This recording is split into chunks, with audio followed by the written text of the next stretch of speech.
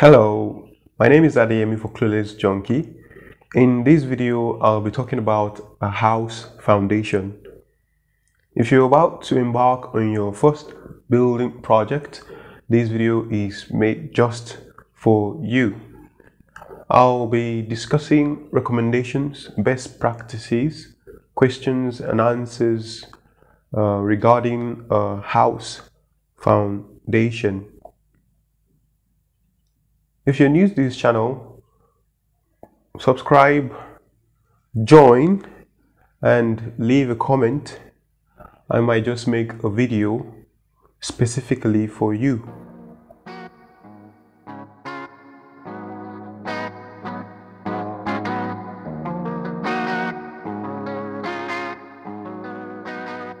Let's move on. And this is assuming all necessary permits for building have been obtained from the appropriate authorities. The first step, site clearing. Site clearing is done to remove all debris and obstructions that may get in the way of the objective.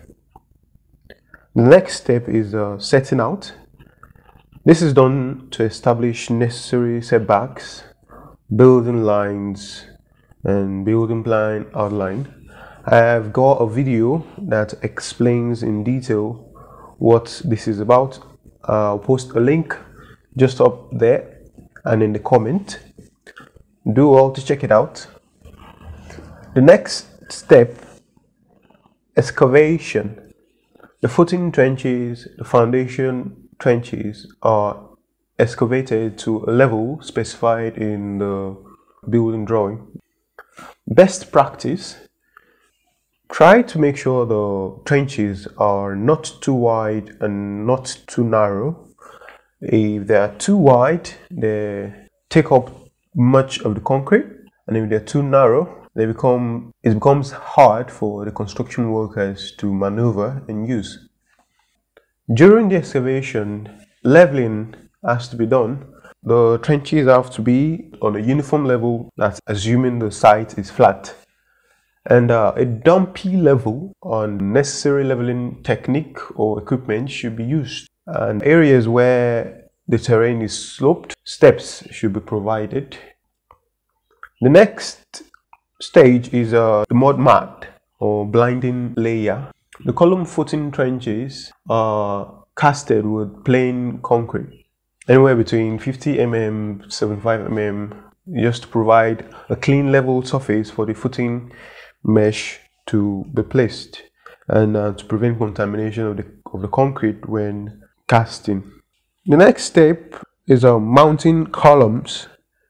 The footing meshes are for isolated columns and uh, combined columns are put into the trenches and uh, the columns are placed um, are mounted into place I have a video that details this process. Uh, do well to check it out to get more information on that. The next step is to apply a concrete mix to the mounted column bases.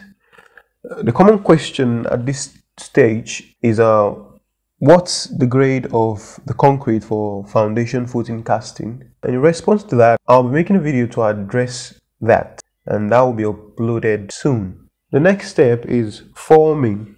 Blocks are used to form the building plan on the casted footing.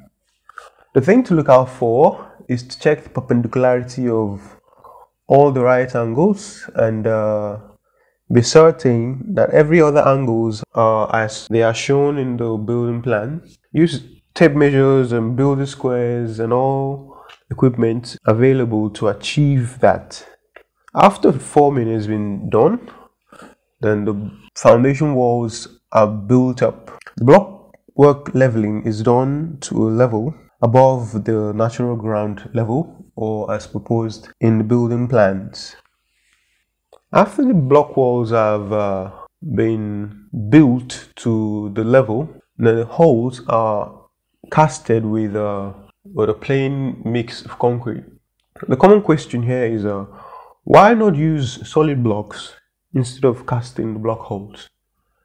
Uh, in response, The size of blocks used are quite big, and uh, using solid blocks for this step at the size may slow down the construction workers, and uh, hollow blocks doesn't really compromise the integrity of the foundation walls. The hollow blocks are of high grade and uh, actually concrete blocks.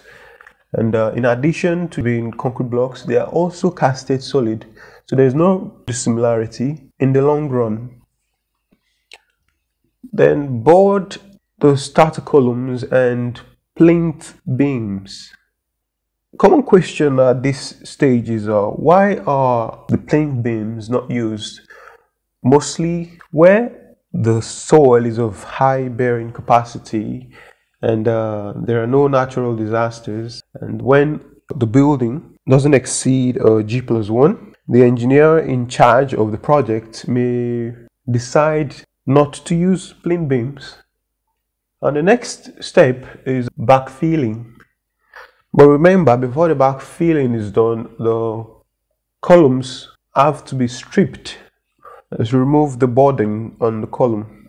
So for the backfilling, the room spaces and the trenches are filled with excavated soil, laterite or any other recommended backfill material.